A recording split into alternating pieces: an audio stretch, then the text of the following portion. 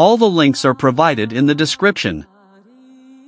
Download the Tamper Monkey Legacy. And also the Chessbot zip file. The links are completely new and updated. Click on icon of Tamper Monkey and create a new script. Extract the zip file and open the txt file. Select all Control plus A and copy and paste it on the script page of TamperMonkey and save it Control plus S. Still one final step remains. First open chess.com and let's see.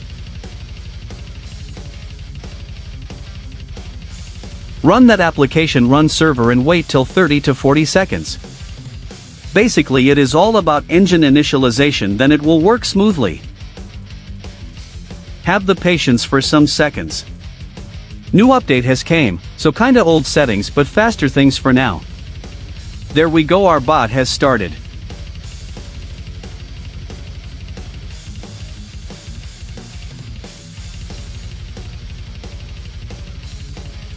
Don't close that application because that is our main engine server.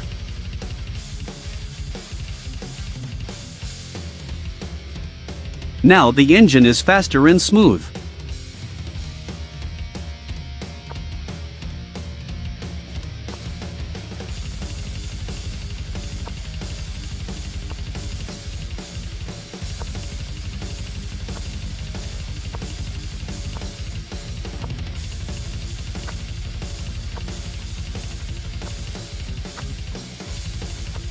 When you play at rating more than 3000 you can't change the time.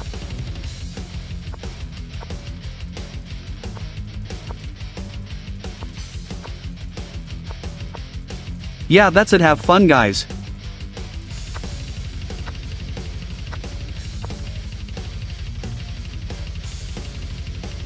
Don't forget to subscribe and have fun.